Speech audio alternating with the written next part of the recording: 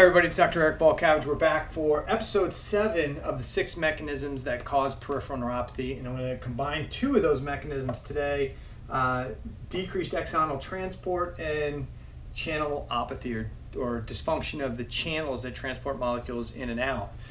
So, during hyperglycemic states, the high levels of blood sugar inside the cells actually cause glycation or gooiness to the actin and neurofilaments of your nerves.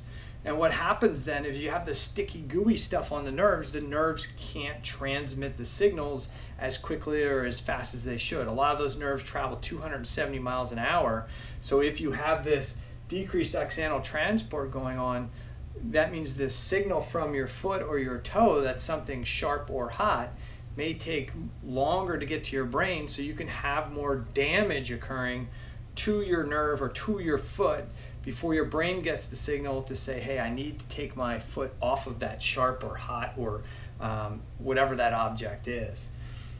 Channelopathy is the sixth mechanism, and what happens in this mechanism, hyperglycemia causes decrease in the function of what are called sodium potassium pumps or channels. So cells have these channels through which a lot of molecules transport.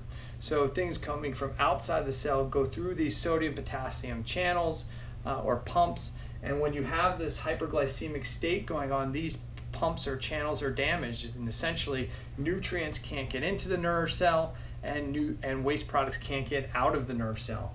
And when that happens, you get nerve damage leading to neuropathy. So these were the six mechanisms that cause peripheral neuropathy, regardless of the type of neuropathy you have. And all of the mechanisms I talked about still occur when you're a well managed diabetic. Just because you're taking the medications and the blood sugar levels are okay by diabetic standards and your hemoglobin A1C is okay by diabetic standards, it's still not the healthy level of blood sugar. It's still not a healthy level of hemoglobin A1C. Healthy hemoglobin A1C is 5, 4.8 to 5.2. So if you're a if you're in the six and your doctor says, "Hey, you're down below the diabetic range," that still doesn't matter. That doesn't mean that these the problems aren't occurring. Matter of fact, the research says that these things are still occurring. Okay, and all these mechanisms can be triggered by things like chemicals. So the chemicals that we are in our environment, chemotherapy, uh, medications we take, um, you know, alcohol, all kinds of toxins can trigger these same mechanisms, as can organisms can trigger the same mechanisms in the body. So bacteria, viruses especially, can trigger these mechanisms.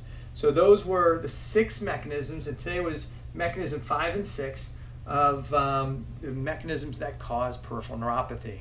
So look forward to more of these uh, and more in the more videos in this ongoing series.